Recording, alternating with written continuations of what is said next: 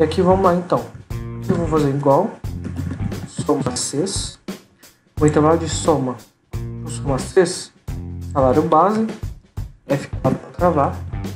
Ponto e vírgula. Meu critério vai ser o cargo. F4 para travar. Ponto e vírgula. E o cargo que eu quero é estagiário. Beleza. Ponto e vírgula.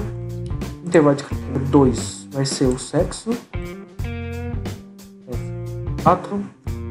Vírgula. E o cara que eu quero é masculino. F4. Certo? Aí eu vou arrastar pro lado. Não, mas pode deixar assim por enquanto. Vem aqui e puxo para baixo. Certo? E aí, vou puxar aqui pro lado. É, porque isso daqui tem que continuar aqui, beleza? E aqui, ó. Isso daqui vir pra cá, ó, que eu quero feminino. Show. Dei Enter e puxei pra baixo. De bola. Certo?